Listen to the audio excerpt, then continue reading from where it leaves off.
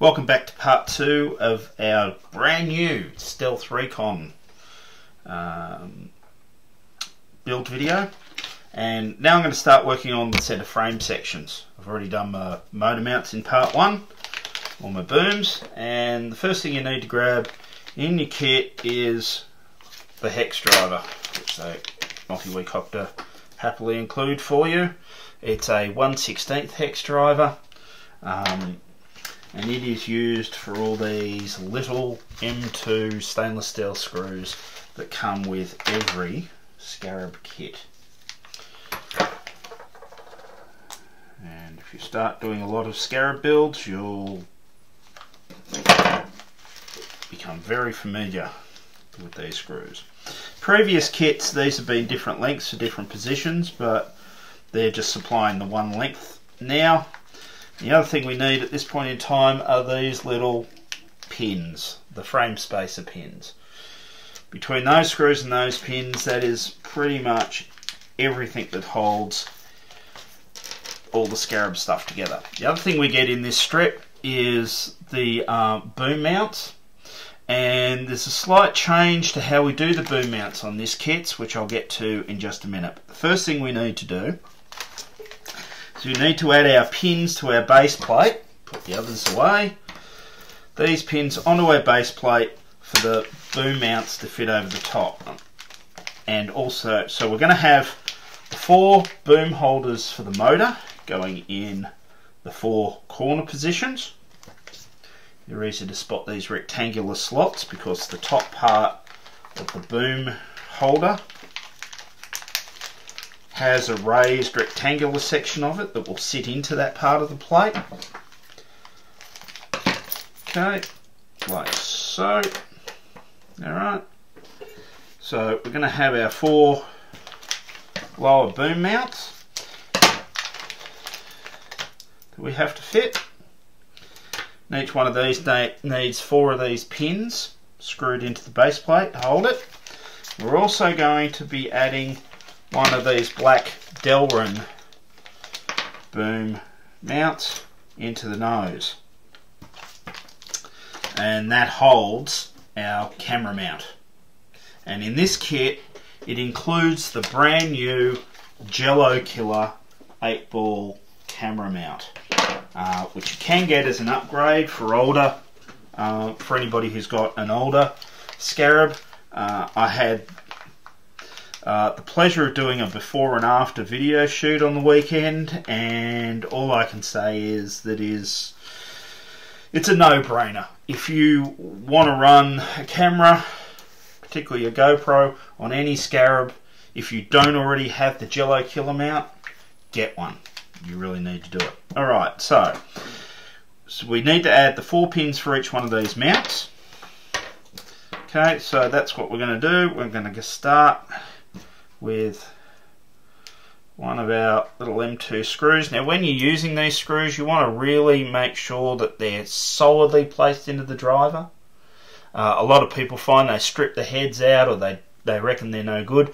What you rip that now is actually really solidly onto the driver. If you give it a good solid push, it stays. So, um, with my beetle, mascara beetle aiming forwards, I'm going to start on that corner. Bit of heat bit of loctite on the screw and add that pin. Okay. Now I'm not just going to nudge it up. I'm not going to make it absolutely solidly tight at the moment. Just notice there's actually a slight difference with this bottom plate.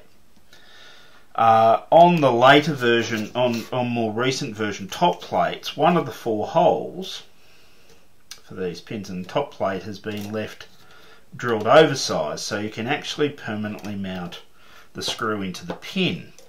And I just noticed the bottom plate has the fourth hole also over, over drilled. So that means we're actually only going to fit three of these pins at this point in time on each one of these mounts. Of course this screw that I'm using to attach it would fall straight through that larger hole. So, and I'll show you why that larger hole is there when we get down to adding the booms to this frame. So I've put three pins on there and they're snug but they're not rock solid. And the reason they're not rock solid is what I want to do is actually slide that block over the top and that aligns them. That makes them make sure they actually sit at the right sort of angles at the right angles. And now I'm going to go through and tighten those three screws up. Okay. So that's the bottom half of that boom mount. Done. Okay. Some of you who have been watching the evolution of the Scarab kits is probably going, huh? Why are we mixing and matching and why are we going back to these slightly heavier red alloy ones? Well, this is a new uh, concept Quinton's come up with and I've got to, I've got to say I really like it. Um, what he's doing is he's leaving the metal one in the bottom and putting the lighter Delrin in the top, Delrin mount on the top. So you get black at the bottom and red at, uh, red at the bottom, black at the top. Why would he do that? Well, there's actually a very simple explanation. On the quads, particularly the Reconn, we use these carbon fibre land this carbon fibre landing gear skid and it screws into holes in the bottom of the blocks. Now, those screws into the Delrin work very nicely, but if you start having too many heavy landings, you start pulling the screws out of the plastic blocks. So to stop that happening, what we're doing is he's doing is he's including the metal blocks back for the bottom half. So when the skid screws into that, it's a screw into metal. So it's going to be just a little bit more robust and a little bit better wearing for your hard hard landings, having a metal block at, block at the bottom, but we're also having a bit more of our weight reduction advantage by having the plastic block at the top. Okay, anyway, I'm going to go away and I'll fit these up and I'll come back shortly. Cool, so that's all done. I've done my pins, I've got the Delrin block sitting at the front, I've got the alloy block sitting at the sides. Now the next, and this is a really important uh, step you need to do, is I'm going to take a, one screw, one of the screws, and pop it onto my driver. And I'm just going to go around and I'm going to screw it into every one of these pins.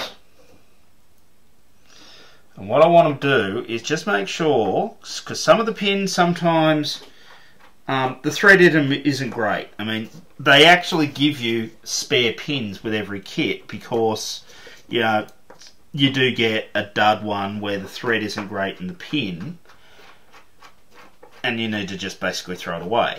So what I'm doing at this point in time is I'm just going to go around and I'm going to drive a screw into the top of the pin and screw it down and I'm going to do that with every one of these pins sitting through the board because if I don't do this and one of these pins has uh, a problem with the thread or the hole or there's some gunk in there. If anything like that happens and I need to actually replace the pin later, I've got to pull the whole thing apart again to actually get this pin back out.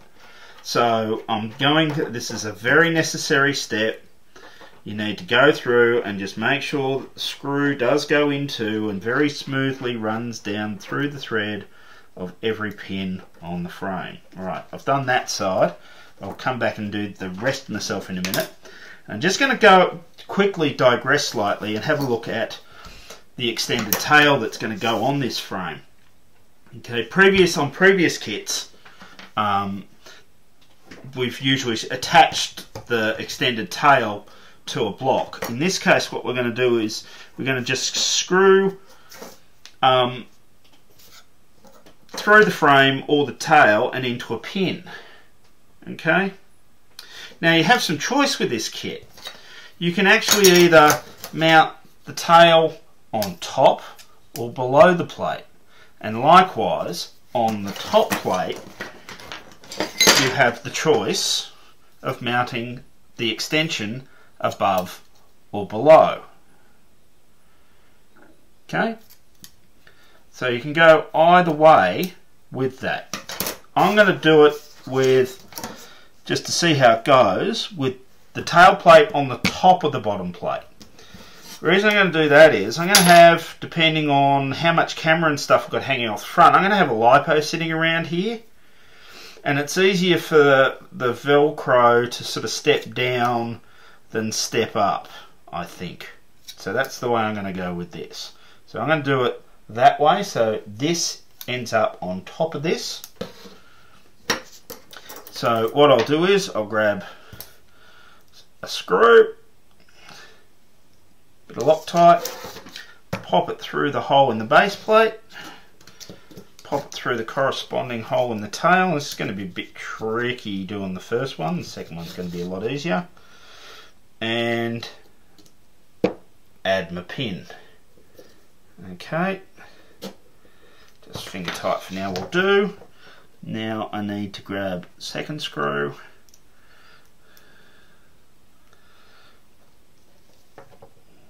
through there and onto there.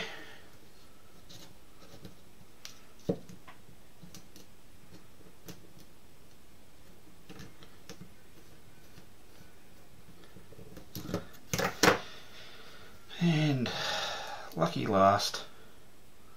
Now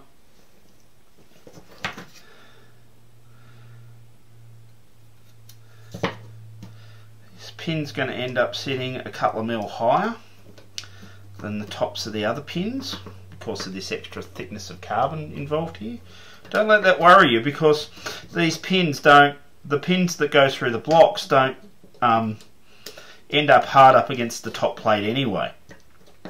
They actually, you end up with a gap in the boom holder blocks of a couple of mil. So the top of this pin never does quite hit the carbon. So I think doing this plate on the on the, the top of the carbon, on top of the base plate, is going to um, end up with the pins. These pins are going to end up at the same height as, as those others when I button that up. Alright, so that's basically the frame done to that stage. That's as much as I want to do at this point in time with that. So I'm going to come back in a little while and go through starting to actually get some electronics into this. So back soon.